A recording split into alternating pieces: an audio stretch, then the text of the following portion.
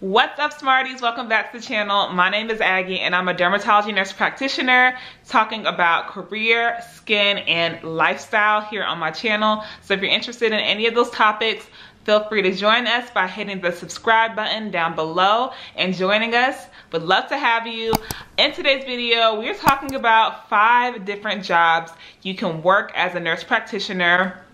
Jobs that I did not know anything about, to be honest, until I did some homework, did some research, because I'm really big on exposing people to what they can do with their degrees. You do not have to be limited to what is standard or typical. There are other other ways you can use that degree and let that degree work for you after you work so hard to earn it. If you're interested in what those jobs are, then please keep on watching.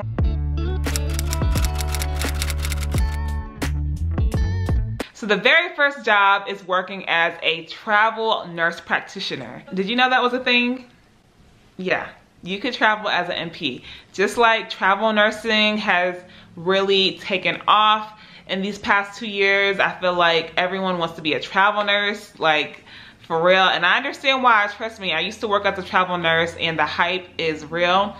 Well, you could also do uh, traveling as a nurse practitioner. They're also called a locum tenens nurse. And similar to travel nursing, you basically are filling in um, a need at a certain practice temporarily on contract.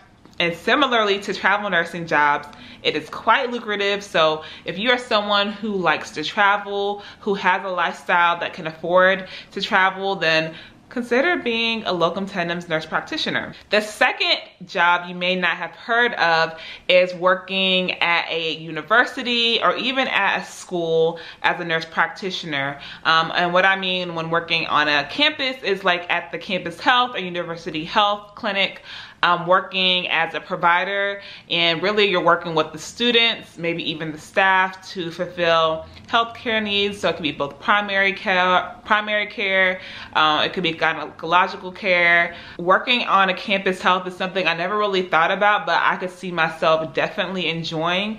Um, and so if you also like working with young adults, um, if you like the you know university uh, setting, then that might be of interest to you.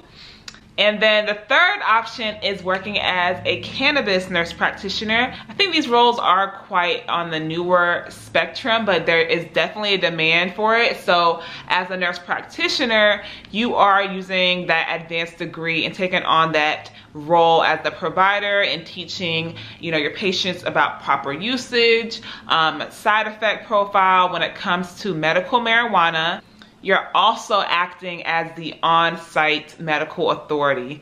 Something else that's really attractive about this role is that it is quite lucrative.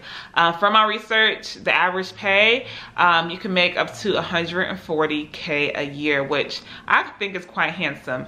Now, of course, all these ranges, these pay ranges, they will, they will depend on what state you live in, but hey, 140k a year does not sound bad to me. A fourth job that you can work um, as a nurse practitioner is a on-site corporate nurse practitioner, which means you work for a clinic in a corporate setting, providing primary care. You could be helping with safety um, classes or exercise programs, medical screenings.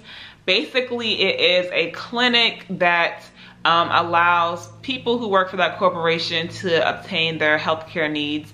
And usually it's going to be a team involved and you will be one of those team members that are able to uh, give out those services or help with those services. So if you are interested in integrating into the corporate space, I would assume that they have really great benefits. That's like totally an assumption, not based on fact, but that could be something that's interesting too, especially just judging it up. You know, you're not working, you know, in the hospital setting or your typical like you know, private practice per se. You know, it's kind of very special, unique in that it is a corporate health clinic. And then the fifth job I wanted to bring to you guys attention um, when it comes to unique nurse practitioner jobs working as a cruise ship nurse practitioner. Again, in my previous video, I mentioned being a cruise nurse, but along with nurses, they need providers. So yes, you as a nurse practitioner could also travel the world on sea and get paid to do it. Um, you are there to address healthcare needs on the ship, um, and that could be a range of things. So it's almost like first responder meets healthcare provider and you are kind of leading the management of those those cases those patients on the ship. Well those are all the jobs i have in today's video. If you like these kinds of topics and you want to know more about what else you could do with your degree as a nurse or a nurse practitioner comment down below and let me know if any of these jobs interest you which one seems the most attractive which one are you the most surprised by or intrigued by um, let me know in the comments. I would love to chit chat with you guys. That's all I have for you all today. I will see you guys on the next one. Bye.